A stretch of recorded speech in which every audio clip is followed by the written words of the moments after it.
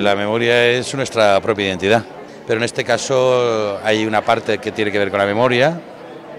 y tiene otra que ver con la reparación de aquellos trabajadores que fueron depurados eh, no por su trabajo, sino por sus ideas, por su compromiso político, por discrepar del totalitarismo.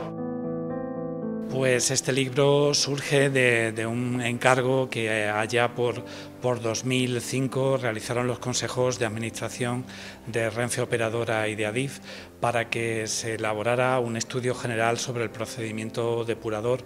eh, que se vivió en el sector ferroviario durante la guerra civil y el franquismo. La memoria histórica es importante porque nos conecta con el pasado, nos conecta con nuestras raíces y nos conecta con el recuerdo de lo que eh, somos y de lo que hemos sido.